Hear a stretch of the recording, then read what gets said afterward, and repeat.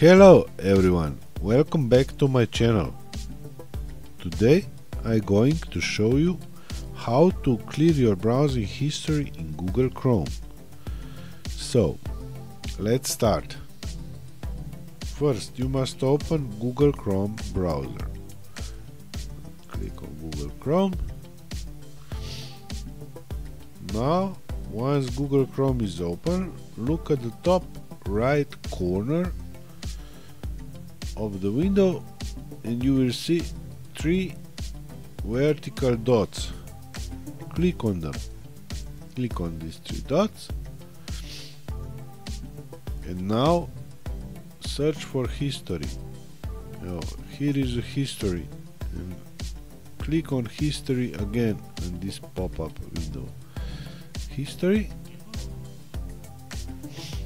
Now here is your all history from browsing.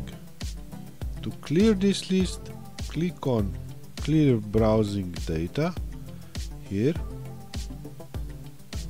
on the left side of the screen. This is the left side.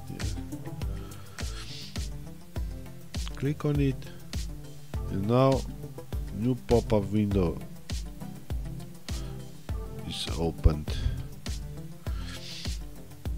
Now here you can choose the time range for the history you want to delete. You can select last hour last spot 24 hours last 7 days last 4 week or all time history. I will choose all time.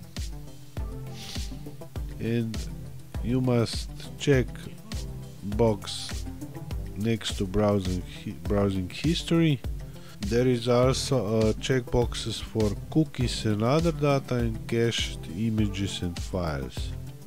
Now you must click on this blue button clear data. I will click clear data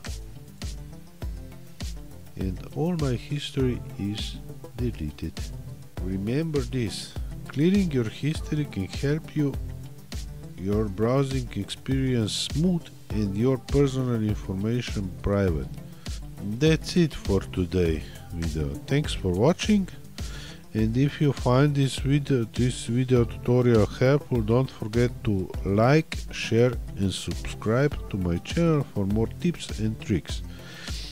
See you in the next video. Have a beautiful day.